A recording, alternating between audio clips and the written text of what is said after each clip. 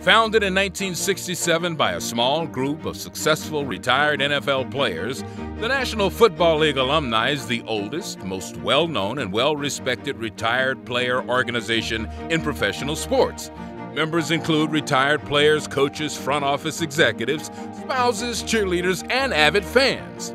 The NFL alumni informs, assists, and serves players in their post NFL lives, offering a diverse package of medical, business, and legal services to help keep them and their families healthy, productive, and connected to the league and their former teammates.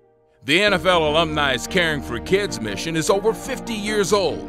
35 regional chapters giving back to their communities for youth related charities, raising over $1 million per year. For more information on the NFL alumni, visit www.nflalumni.org today.